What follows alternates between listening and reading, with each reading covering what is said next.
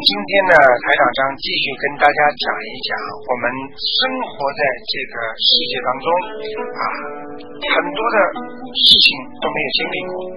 那么今天呢，台长想跟大家讲一讲呢，啊，像菩萨现身。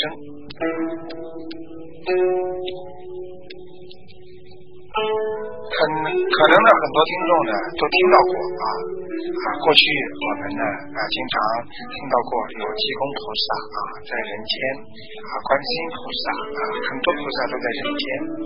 那么今天呢，跟大家谈一谈，为什么菩萨现身？为什么菩萨到人间来？啊，为什么菩萨到人间之后跟我们有明显的感应？啊，简单的给大家介绍一下，因为菩萨呢，他是无心的，啊，也就是说，他这个心啊是没有自己的心，他是以众生之心为心的，因为众生是什么心，他就是什么心，啊，所以呢，菩萨心是慈悲的，因为众生也是慈悲的，大家记住。当一个人看见出车祸的时候，当一个人看见这个人掉到河里去，或者被某一件突发事件死掉的时候，很多人都边上很自然的由心发出一种感叹：“哎呀，真可怜呐，啊，真作孽呀，啊，等等，这些是什么呢？实际上，这些就是因为众生之心，众生之心。皆具佛性，就是佛菩萨之心。所以菩萨本身无心，他以众生的心为心。所以菩萨还有一个无境，就是没有境，就是没有环境，没有看得见的东西。因为你的境境界也好，你所处的环境也好，因为你众生什么境，它就是什么境。所以呢，有感即通。什么叫有感即通啊？因为菩萨的心没有静也无有，那么以众生之心为心，以众生之境为境，那么所以你们就会有感觉，菩萨和你是通的，你就会有感觉，菩萨跟你是心心相印的。因为你很多时候就觉得，哎呀，菩萨怎么知道我有这个想法，帮助了我？实际上，这就叫不谋而合呀，啊，不谋而合，实际上就是有感应，啊，感应即通，一有感应，马上你就会跟菩萨通了。所以，当人在求菩萨的时候，他一定会慢慢感觉到通了。那么，大家知道，一个人善良的心啊，一个人的良知、良能，它是由众生心之本体。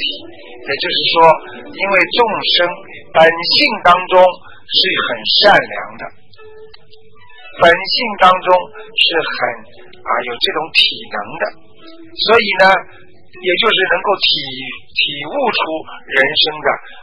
那种善良的东西，所以叫良由众生之心之本体，也就是说啊，良心善良的东西是人本来就有的啊。那么与菩萨的心呢是息息相通的，因为人的良知良能呢啊一定会啊和菩萨息息相通，因为本来就是菩萨之心，所以呢。我们讲众生啊，众生啊，啊，有时候呢，大家知道啊，众生的悲觉合成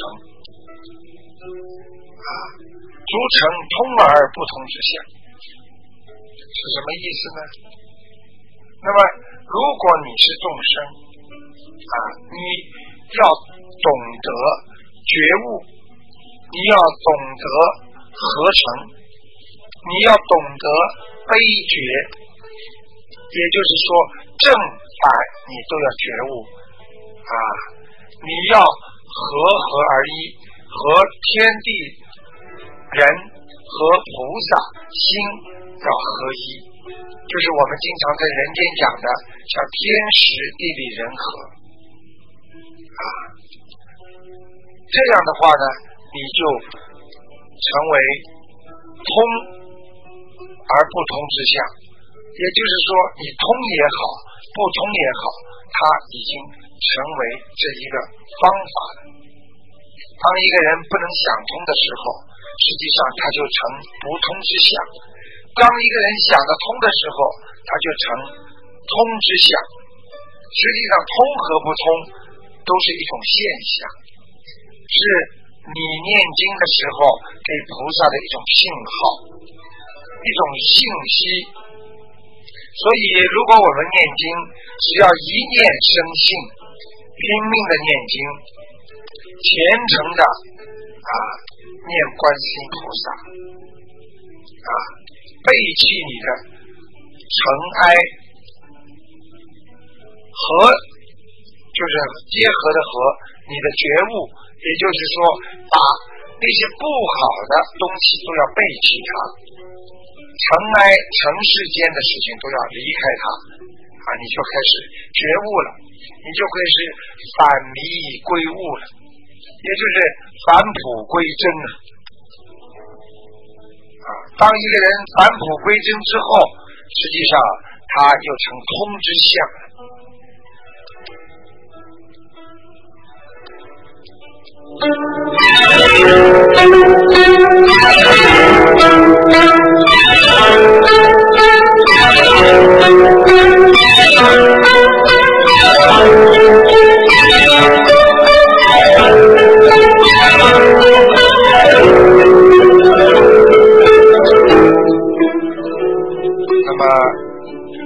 那？如果在人生当中遇到极大的艰难险阻啊，凡是我们遇到极大的艰难险阻啊，我们只要意念一到，就能够得到感应。也就是说，当你念经念的好了，当你跟菩萨的气场一直通的时候，不管你遇到多大的艰难险阻，遇到啊山崩海啸，遇到你的危难的时候，你只要一个念头，观世音菩萨，你救救我吧，你就获得感应了。这就是靠平时。所以这个时候呢，很多菩萨还会现身啊。现身给你看，实际上很多人在危难的时候，都会菩萨都会现身来救你。很多人在梦中碰到危难的时候，他一叫观世音菩萨，他能看见观世音菩萨。啊，所以观世音菩萨，所有众位菩萨，他们不但有情深，他们很慈悲我们呐。虽然。有时候有山河树木阻隔，有桥梁传收，有楼台房舍，有墙壁村落，菩萨都是会随时随地的显现出来。而且菩萨显现到人间会随机现，也就是说随着机缘来现出。所以呢。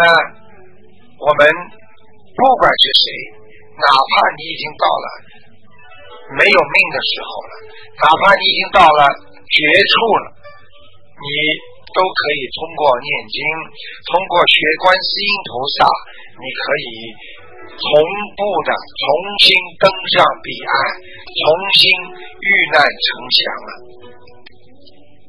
虽然你没有躲避处，但是。你得到观世音菩萨的救度，你就是得到最大的遮蔽。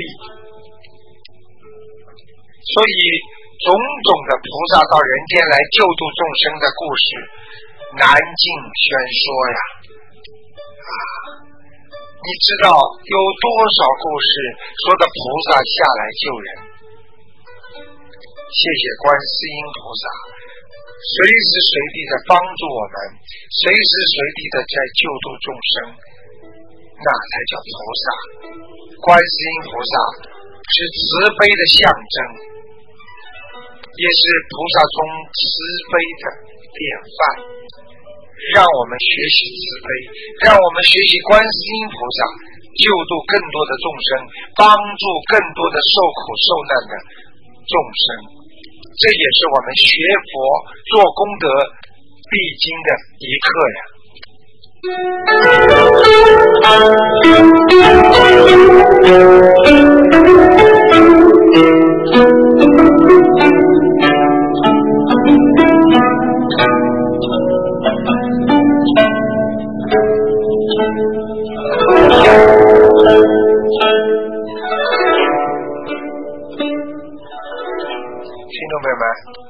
知道啊，我们一切众生啊。皆具佛性，所以要把众生都当成佛啊！因为佛菩萨他把一切众生都看成是佛，所以为什么我们在修心念经的时候要把其他的老人家看成你的父母亲，要叫他老菩萨；小孩子你把他叫成小菩萨。所以很多经文当中说到：“我是已成佛，汝是未成佛。若能如是信，戒品与记福。”也就是说，菩萨他自己已是佛，你呢是没有成佛。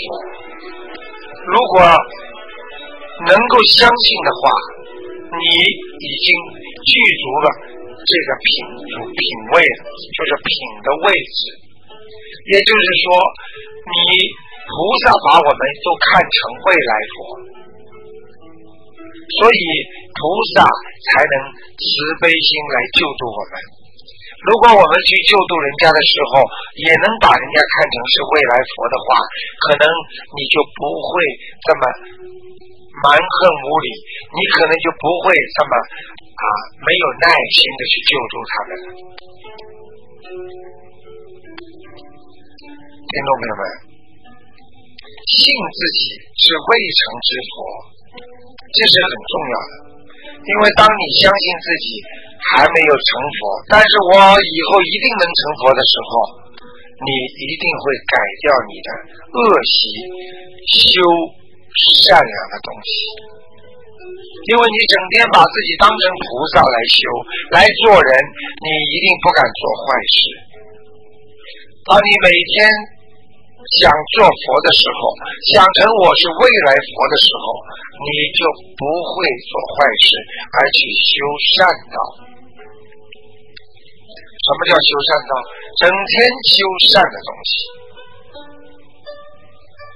所以能够。改恶修善，发自利己利他之大菩提心啊！啊，自利利他呀！因为当你救人的时候，你自己得到利益了，你也能够利益他人，这才叫大菩提心啊！啊，所以我们活在世界上。在帮助人家的时候，实际上就是在帮助你自己呀。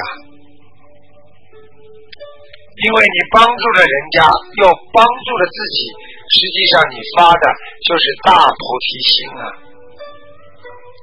所以我们要断尽烦祸，也就是说，我们在人间呐，一定要把迷惑和烦恼要断尽。不要去想它，要斩断。所以这样的话，你的心就是本心是真如佛性，那才是真正菩萨的佛性在你的身上。所以要相信啊，要相信一切六道众生。都是未成之佛呀！我们要极力的劝导他们，我们要相互维持与同类，绝对不能相争相杀之恶作呀！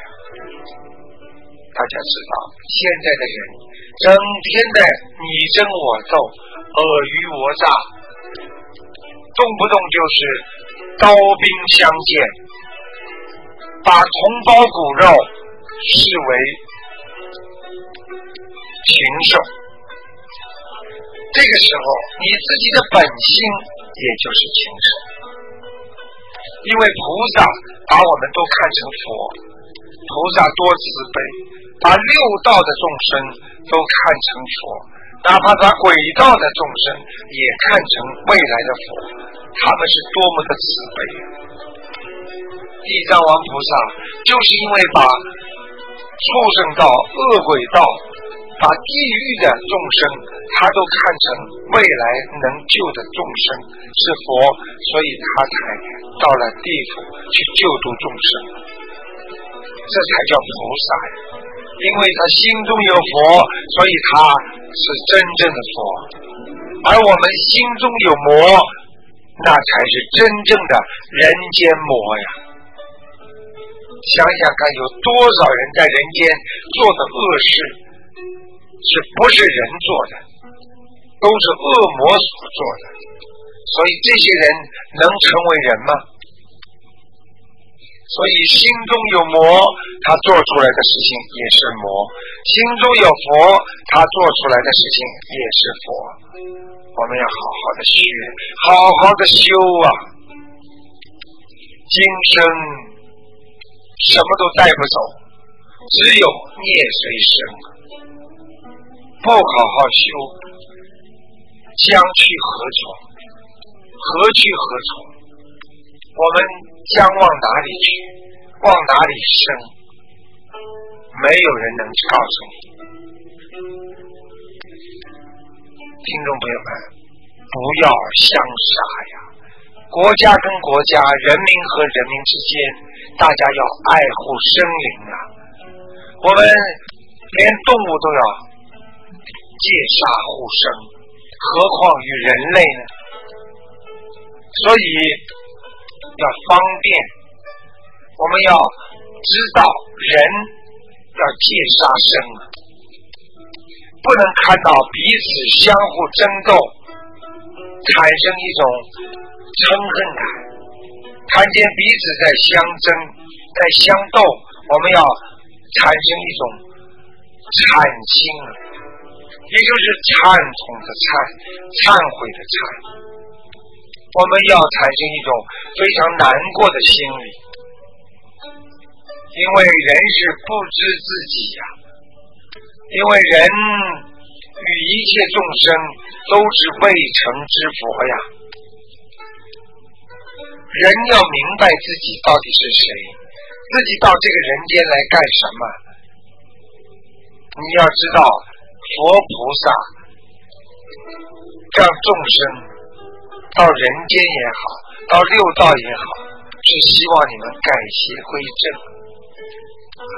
去除孽障，该还清的就要还清。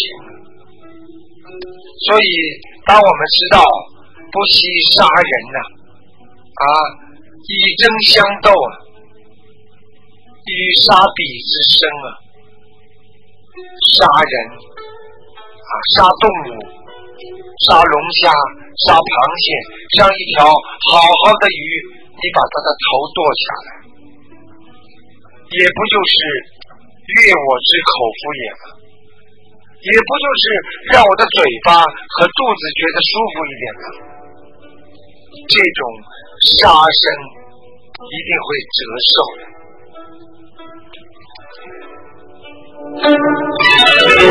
好，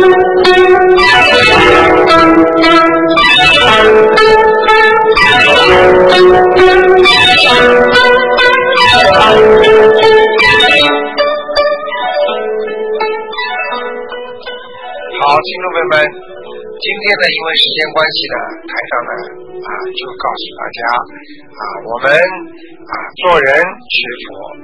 首先要知道，当你诚心诚意求菩萨的时候，菩萨一定会到你身边。当你诚诚恳恳啊学佛念经的时候，你有求必应啊。菩萨为了众生，经常现身于人间，这是多么的慈悲心！